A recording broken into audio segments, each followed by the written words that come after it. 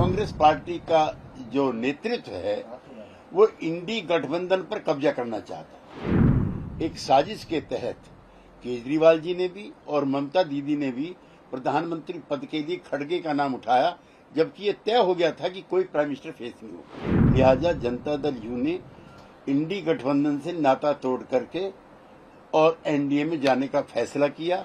जो इंडी गठबंधन के नेता नीतीश कुमार को संयोजक बनाने के लिए तैयार नहीं थे उनके प्रधानमंत्री पद के ऑफ़र आए। त्यागी जी आज सुबह से स्पेकुलेशन चल रही हैं सामने आ रहे हैं कई बयान की आपको जेडीयू को जो है प्रधानमंत्री का पद चाहिए था इस वजह से साथ नहीं गए जो अलायंस का लीडर बनाना था कन्वीनर वो नहीं बनाया गया इस वजह से आप लोग अलग हो गए। क्या कुछ है इस पूरे मामले में? देखिए नीतीश कुमार जी इंडी गठबंधन के संस्थापक हैं इनिशिएटर हैं कोऑर्डिनेटर जब कांग्रेस पार्टी पॉलिटिकली अनटचेबल थी, Aam Aadmi party, Samajwadi party BRS और टीएमसी के नेता, कांग्रेस पार्टी के नेताओं के साथ बैठने के लिए तैयार नहीं थे, तब उस पॉलिटिकल अस्पर्शता को, पॉलिटिकल अनटचेबिलिटी को नीतीश कुमार जी ने पटना में मीटिंग करके खत्म किया, जब राहुल जी के बराबर में, खड़गे जी के बराबर में केजरीवाल जी बैठे, अखिलेश यादव जी बैठे, ममता दीदी बैठी। तो उसके बाद निरंतर हम प्रयास करते रहे, लेकिन कांग्रेस पार्टी का जो नेतृत्व है, वो इंडी गठबंधन पर कब्जा करना चाहता इसलिए वो लगातार देर करते रहे, मीटिंगें होती रही। पहली, दूसरी मीटिंग बंगलुरु में हुई, तीसरी मीटिंग मुंबई में हुई। मुंबई में तय हो गया था कि कोई भी इसका प्राइम मिनिस्टर का चेहरा नहीं होगा। लगभग सभी क्षेत्रीय दल तैयार थे कि नीतीश कुमार जी इसके कन्वीनर बने, लेकिन अशोका होटल की मीटिंग से पहले एक साजिश के तहत केजरीवाल जी ने भी और ममता दीदी ने भी प्रधानमंत्री पद के लिए खड़गे का नाम उठाया, जबकि ये तय हो गया था कि कोई प्राइम मिनिस्टर फेस नहीं होगा। और नीतीश कुमार जी के कन्वीनर बनने पर भी कांग्रेस पार्टी के सबसे बड़े नेता ने सवाल कर दिए इतना ह्यूमिलिएशन इतनी मेहनत करने के बाद हम, हमारी रैंक एंड फ़ाइल को मंजूर नहीं था। और हमें इनके इरादों का पता लग गया कि ये विकल्प के बजाय उस संगठन पर कब्जा करना चाहते हैं। लिहाजा जनता दल यू ने इंडी गठबंधन से नाता तोड़ करके और एनडीए में जाने का फैसला किया। और as on today we are very comfortable इतिहास गवाह है कि हमारा फैसला सही था।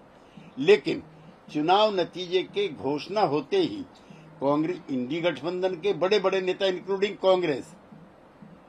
वो लग गए नीतीश कुमार जी और जेडीयू को अपनाने में। जो इंडी गठबंधन के नेता नीतीश कुमार को संयोजक बनाने के लिए तैयार नहीं थे, उनके प्रधानमंत्री पद के ऑफ़र आए। मुझे प्रसन्नता है कि जेडीयू के नेतृत्व ने उनको रिजेक्ट कर दिया और नए प्रधानमंत्री के रूप में श्री नरेंद्र मोदी के नाम का अनुमोदन श्री नीतीश कुमार जी ने किया और ये सारी अफवाहें जो उनके द्वारा फैलाई गई थी, उनका समापन हो गया। लेकिन ये पॉलिटिकल बैंक सी, इंडी गठबंधन नेताओं की रही कि जिस व्यक्ति को वो कन्वीनर बनाने के लिए तैयार नहीं थे, उसको प्रधानमंत्री का पद ऑफ़र कर रहे थे, नंबर एक। नंबर दो, नेताओं के नाम और जो कन्वर्सेशन है, वो फोनों में बंद है।